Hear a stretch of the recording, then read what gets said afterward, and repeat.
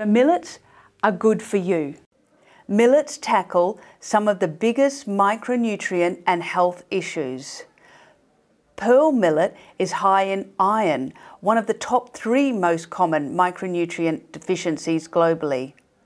And bioavailability studies have shown that a meal of pearl millet will provide the average person's daily requirements of iron and zinc. Millets have a low glycemic index, so are really important for preventing and managing diabetes. Finger millet has three times the amount of calcium than the equivalent of milk.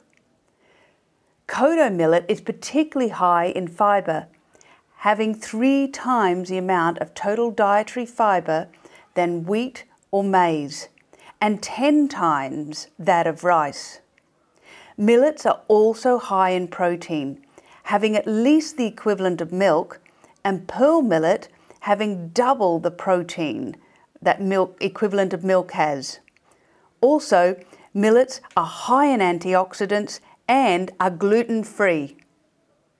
So millets are good for you, also good for the planet. The water footprint of millets is very low. They use 30% less water than maize, 70% less water than rice. Millets also grow faster.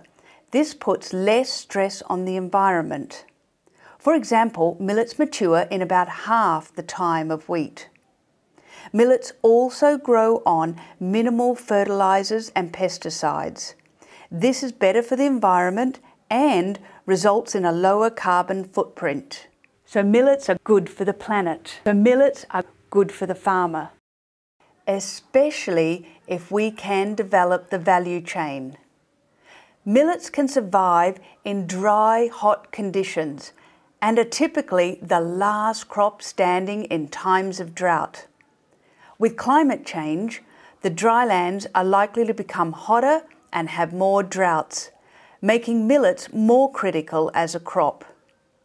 While other major crops have basically reached a yield plateau, millets have had a lot less investment, so have a much larger potential to improve yields.